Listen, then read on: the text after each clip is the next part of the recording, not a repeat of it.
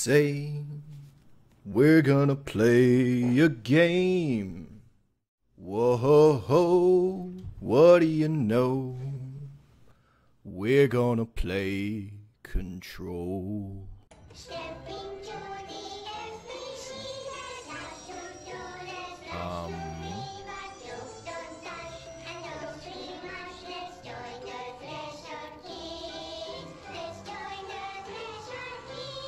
Um.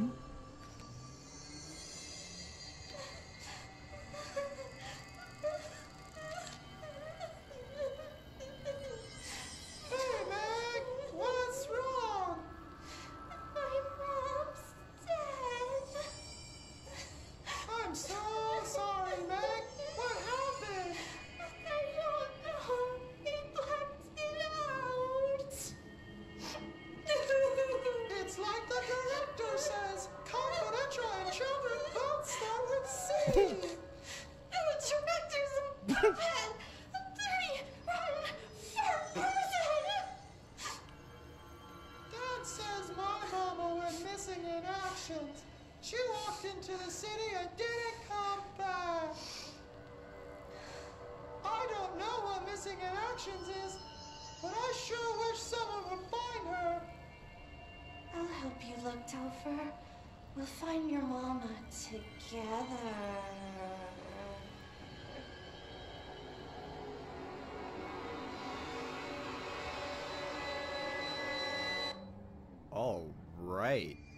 That's horrifying.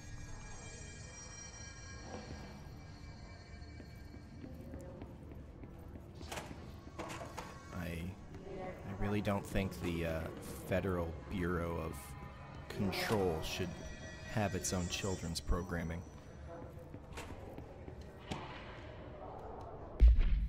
To whom it may concern, I am being contacted by pa- the past presidents of the United States of America. They appear as spirit guides, giving me their wisdom. John Adams keeps saying I need to fix America, but I can't really understand him. They all have a lot of opinions. People tell me I'm imagining it, but Theodore Roosevelt showed me how to fix my lawnmower, and I don't know a thing about lawnmowers. Explain that.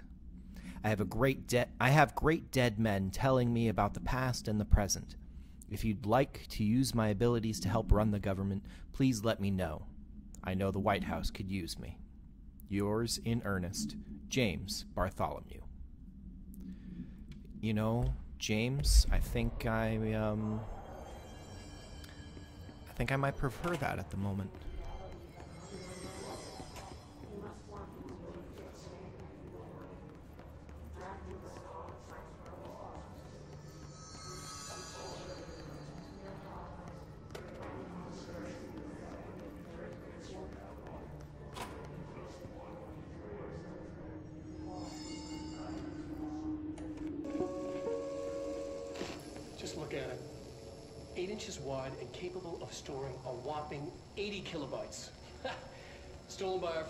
CIA, the disk held the launch codes to Soviet nukes. Uh, this is not the disk, of course, but one exactly like it. A perfect fusion of concepts vibrating in the Cold War era collective unconscious. A receptacle. It is a receptacle for dangerous energies to hone in on. And they did. We don't have the details, but when things started flying around the disk, it was transferred to us. It's an object of power. OOP. Oops. Oh, and it can launch things telekinetically through the air. Uh, to date, we, we've launched maybe three dozen pencils. And once, we even launched a cup. Whoa.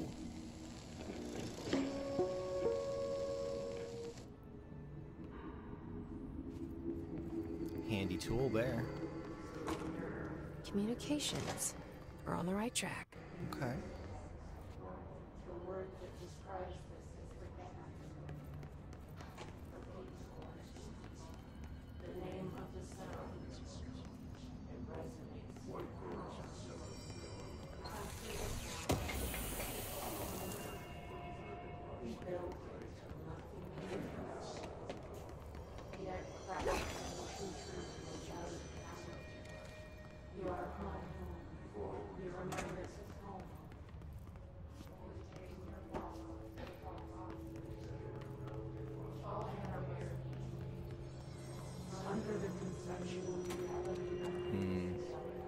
Sound design's really great here. Stepping in a puddle. Oh. Pneumatics.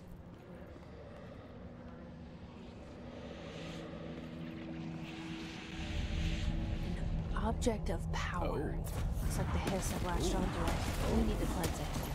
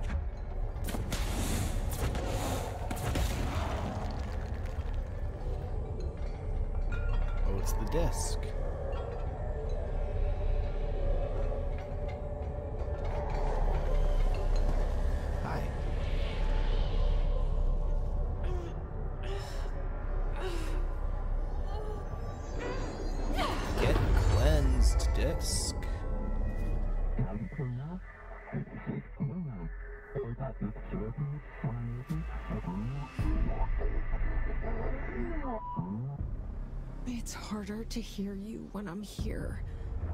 It's like the channel's been changed. The board's in charge here. They're pyramids in Bureau Seal.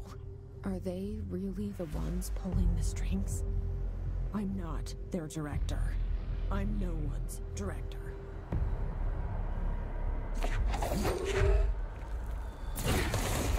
Ace.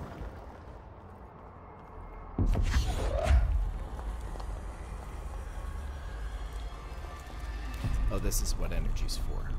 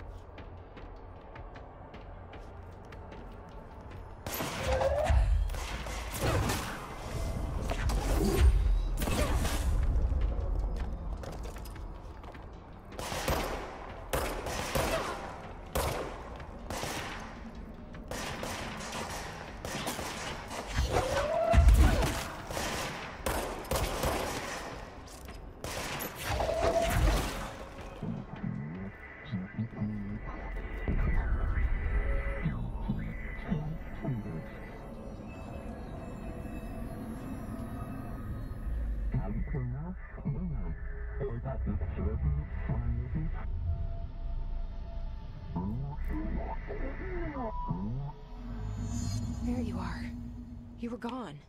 Cut off. I got Oh, it. cool. Just like you wanted, right? This will help me fight the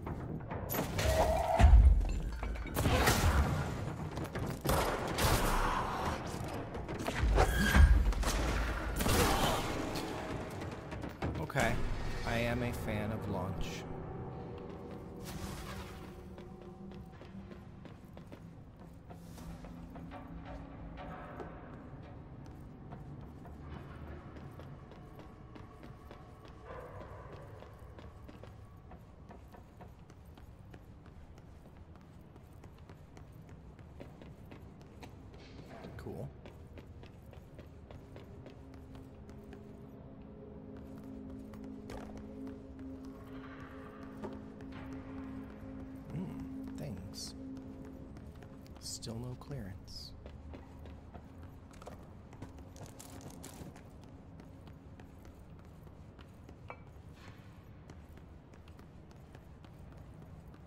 Okay, there was TV. Uh, something in here? Hi, something. Shatter projectile boost. Nope. Have shatter. I have grip.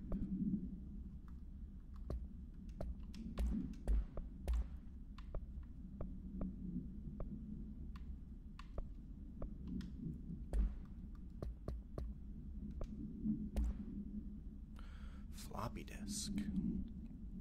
Must be contained in a cell with no other loose material. The object is an 8 inch diskette containing Soviet area nuclear launch codes. When bound, the object allows para utilitarians to telekinetically lift material and throw it a short distance. See Dr. Darling presentation 11.15 for more information. The object is currently bound to redacted for research purposes. Stolen from a Soviet military base located in Redacted by agents Redacted and Redacted with the CIA. The diskette contained launch codes to redacted missiles, believed to be reserved for use against Redacted. After being returned to America, the diskette began, began throwing com- computational hardware at members of the decoding team. An informant in the CIA tipped the Bureau off, and it was requisitioned by agents the next day. No. Yeah, we don't need to watch that again.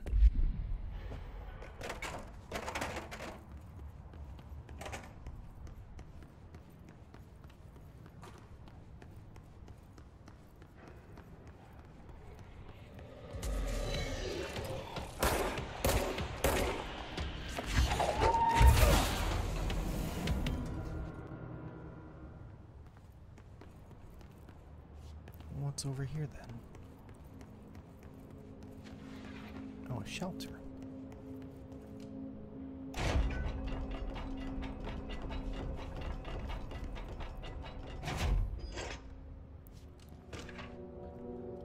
Book club. So, I don't usually read a lot of sci fi, but as far as space operas go, this was alright. The title, Unless You, could refer to a bunch of things in the book, I guess, but I thought it was a little vague and stupid. The way the characters kept throwing it around, almost like a catchphrase, got real annoying real fast.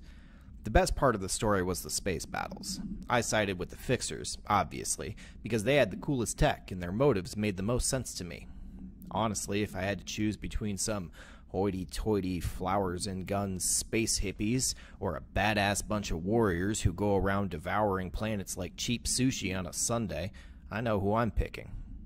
That scene where they invade city planets and convert the entire population using those brain worms, and that space dogfight between those two ace pilots, sign me the fuck up. What kind of ruined the whole thing for me was when my favorite character got killed, not even halfway through the story, by getting a battery cylinder launched into his face by a gravitational anomaly. His death didn't feel necessary at all.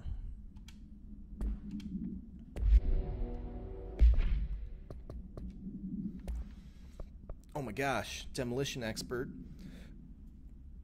I think they have grenades. Ranger. I think they have long range weapons. Okay.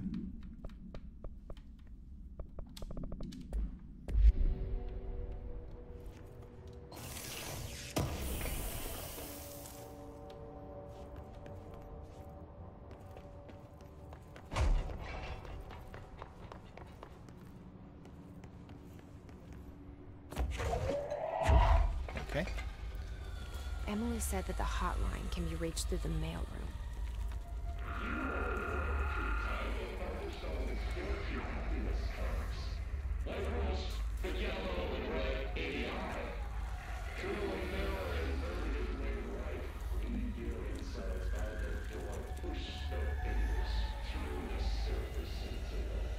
That looks like a mailroom. That needs clearance.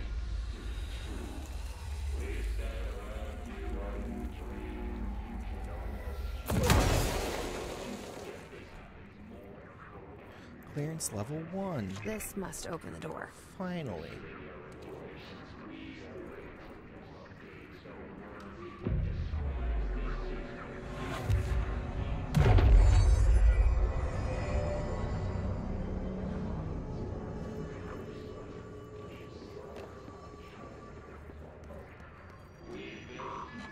I have a feeling there's going to be a fight in here. What do you say?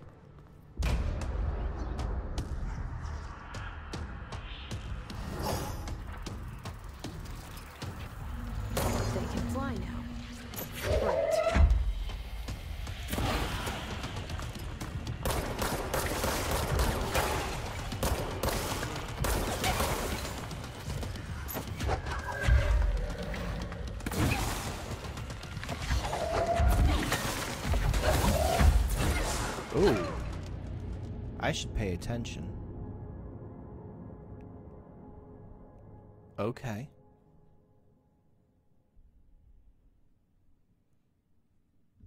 Clearly, there's more going on in that room than I thought.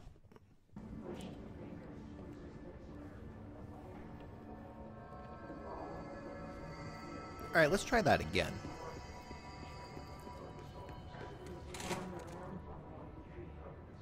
And this time, we're going to take cover. We're going to look around. They can fly now. Great.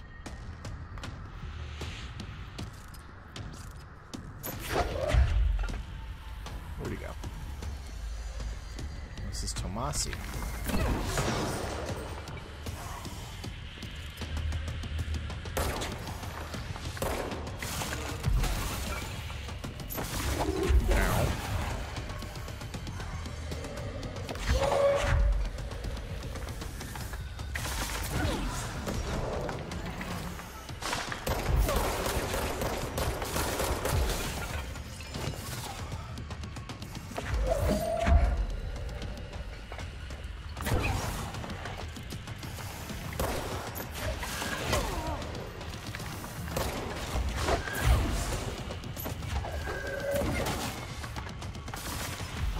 Hi, guy.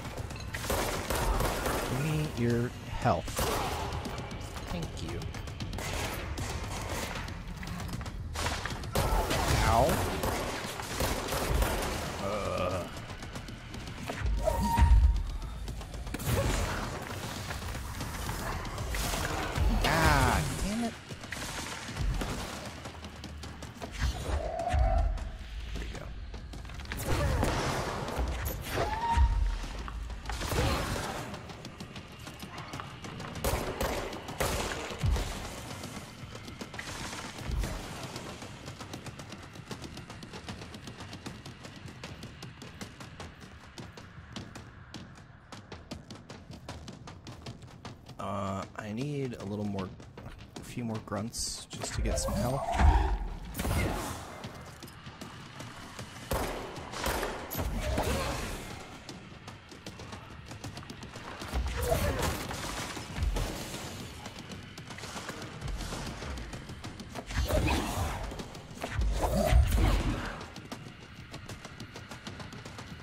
Oh, there's some health. I'm going for it.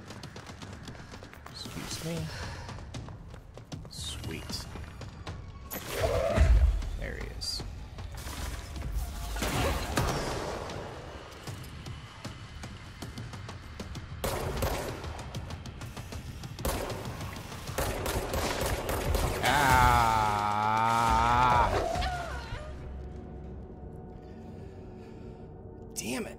Okay.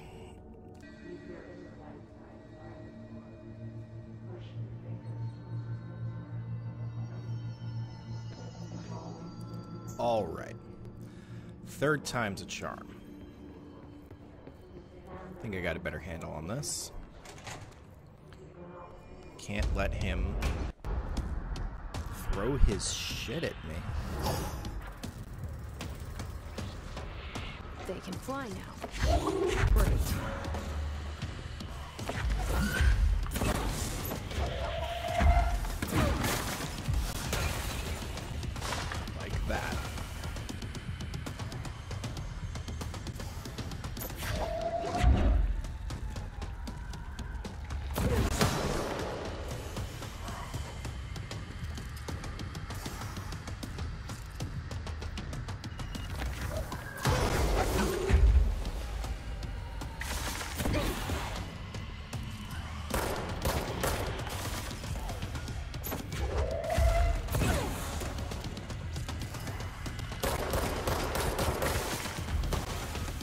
Guy.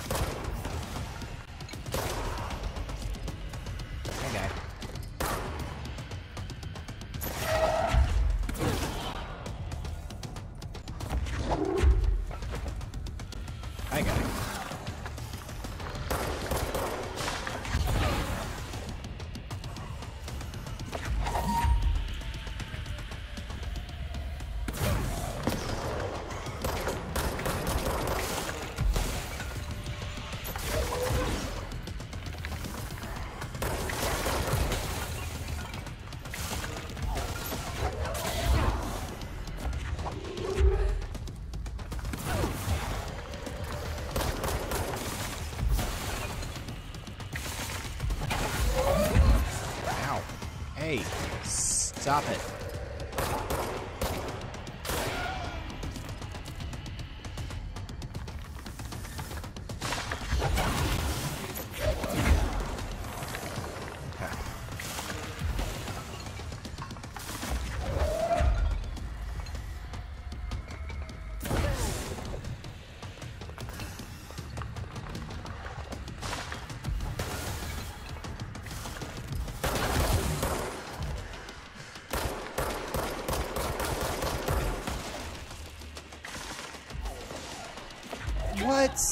Oh my god.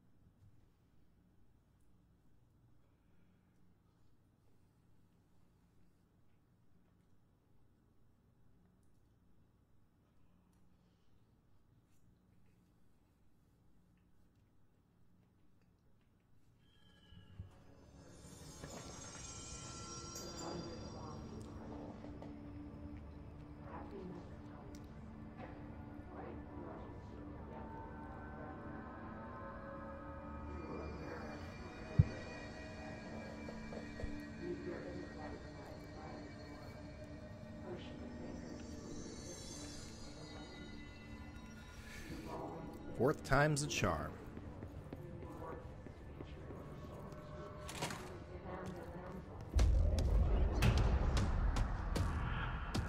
Yep, there he is. They can fly now.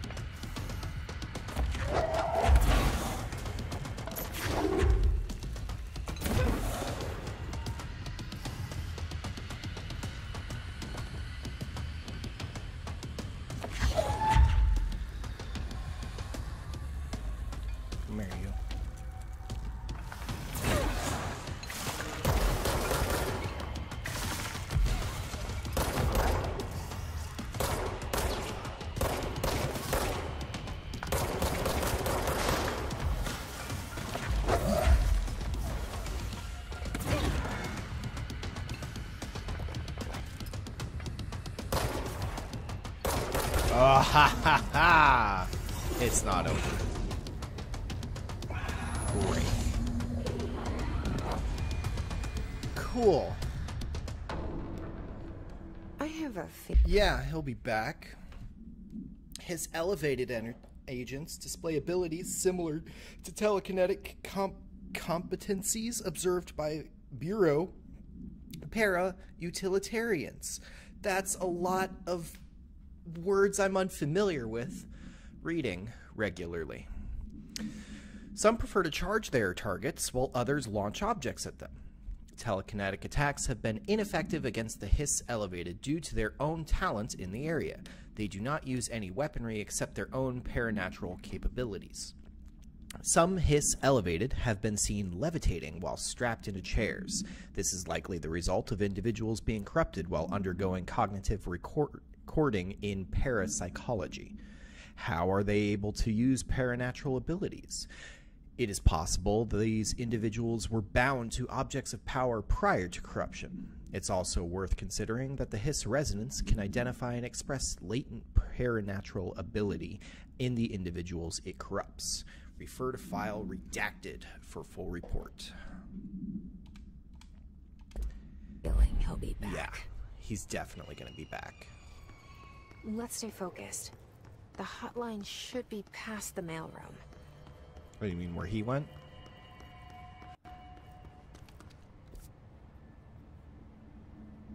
Hmm.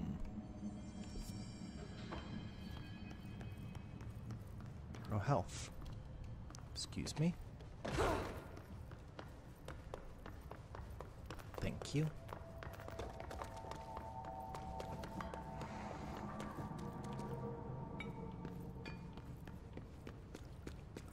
Hello. Hey, Malcolm. Yes, tea time is at 7. I'll see you at the course on Sunday morning. By the way, have you heard about this Tennyson report?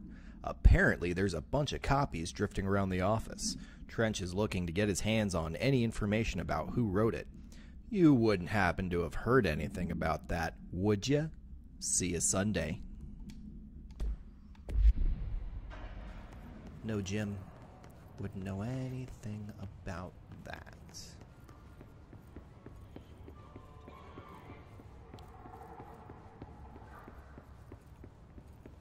Nothing special.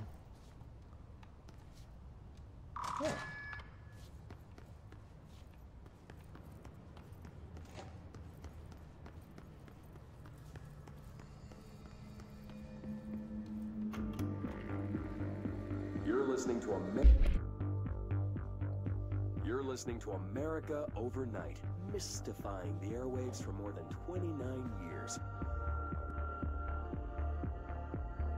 Thank you for staying up with us. Ghosts. We've had many callers over the years tell us of hauntings, voices, and other phantasmagorical phenomena. Today, friend of the show, Dr. Quincy Reagan, tells his story.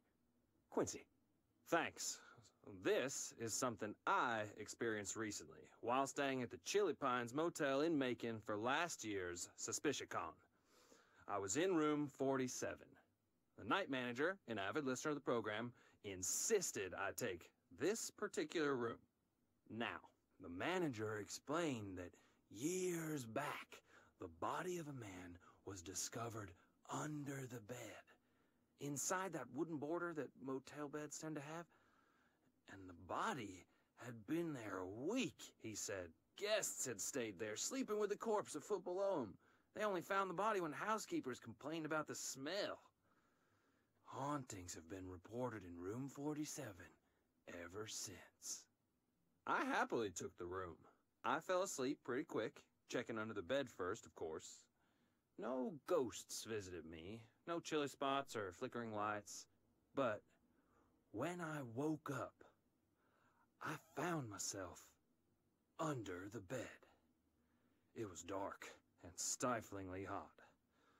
Luckily, I was able to push the mattress off and crawl out before I suffocated. The night manager was kind enough to find me another room. Oh, There you have it, listeners. What we call ghosts take many forms. Quincy was brave enough to tell his story, and I encourage you to keep calling and writing whenever you encounter something strange, something you can't explain. Maybe you're seeing colors that we have no name for. Maybe your toaster is possessed. Remember, dear listeners, when no one else believes you, we do. America Overnight, we'll be right back. Hmm. America Overnight, mystifying the airwaves for more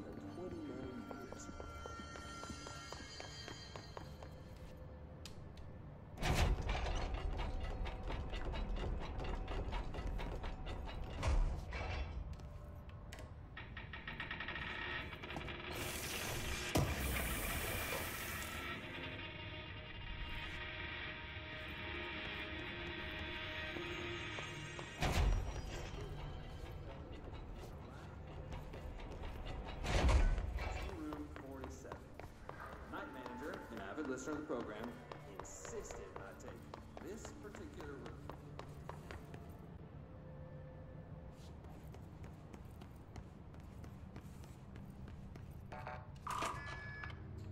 Oh. Interesting. Gross. I have a feeling this is gonna hurt me.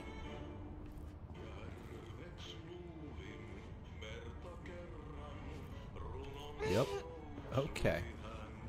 Okay. We'll come back to that.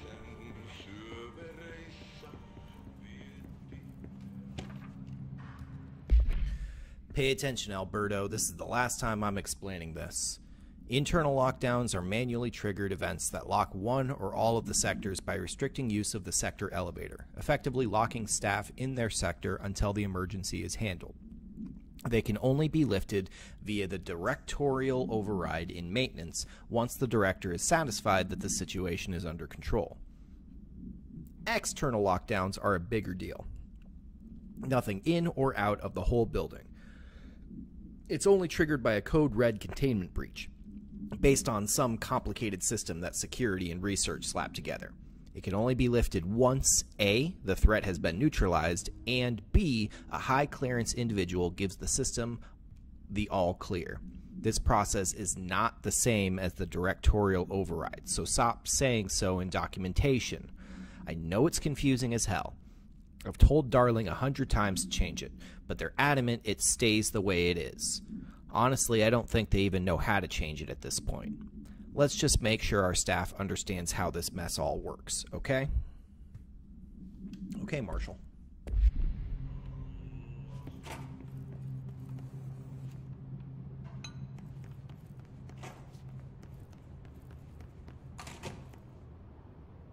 Oh. Here we are. Hello there.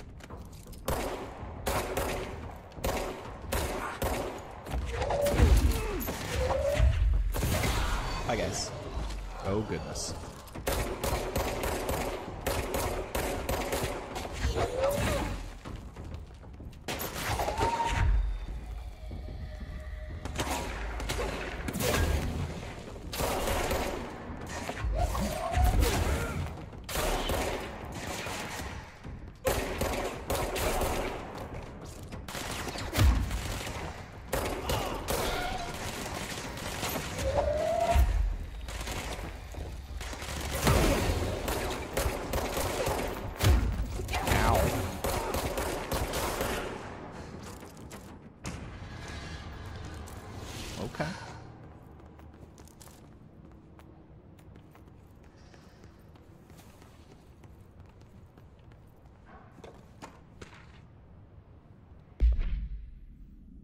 Summary. Last month, our on site servers experienced an intrusion by unauthorized users.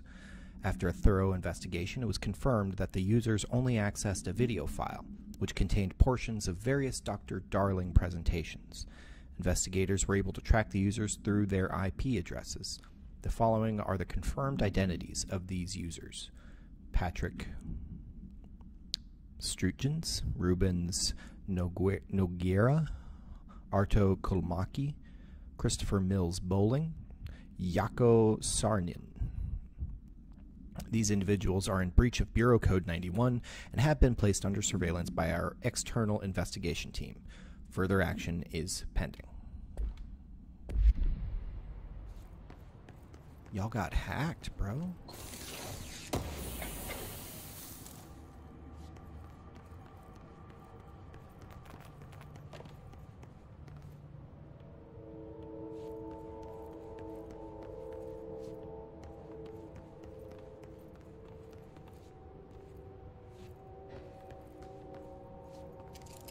Oh.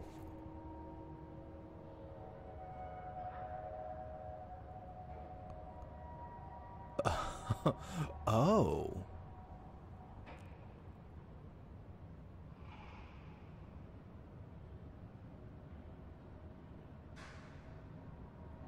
Wow. I thought my company was strict about internet usage. Gotta have level 5 clearance. I can't even use the internet here.